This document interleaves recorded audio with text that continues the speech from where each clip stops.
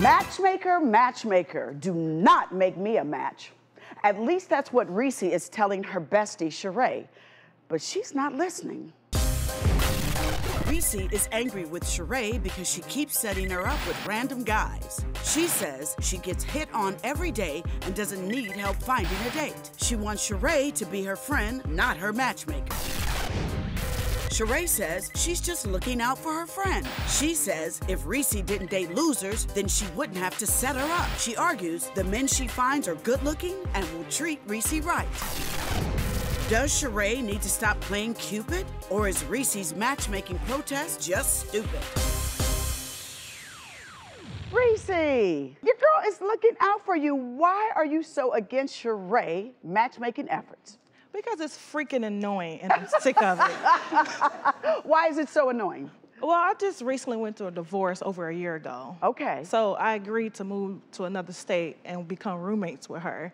Okay. And I feel like ever since then, she's been on this matchmaking journey.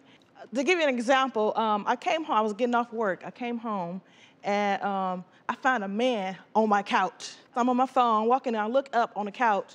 He's like, hey, I said, um, who are you?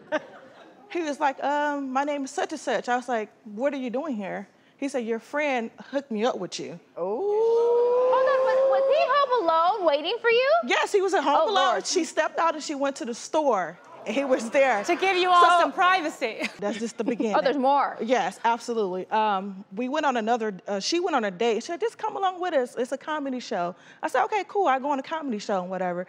I said, do not hook me up with anyone. I'm gonna be hooked up. Just I be the third wheel. I go my way, you go your way. I get there, and he was like, uh, yeah, your friend. She said you're single.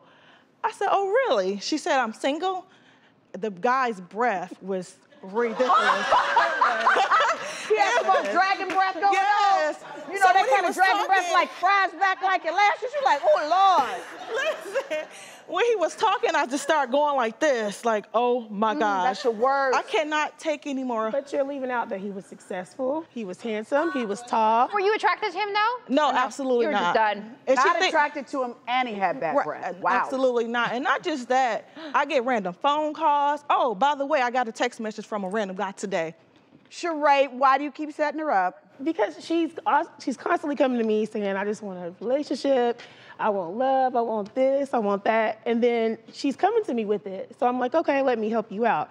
Also, she picks losers. She picks the wrong guys all the time. Why do you say that? Hold on, why do you say that? What have you seen in the past? She bases everything on looks.